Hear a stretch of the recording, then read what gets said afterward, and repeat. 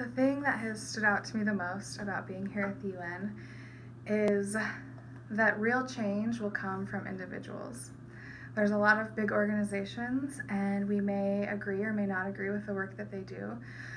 Uh, but change won't come from the top down. Change will come from individuals, and that's been the biggest impact that I have felt or seen is the opportunities that I've had to talk to individuals. Maybe I missed an event that I really wanted to go to and I was super disappointed, but I went to the cafeteria and I sat next to someone who I had an amazing conversation with, who I was able to connect with and tell about our events or the things that we're working on, and you just make so many connections that way.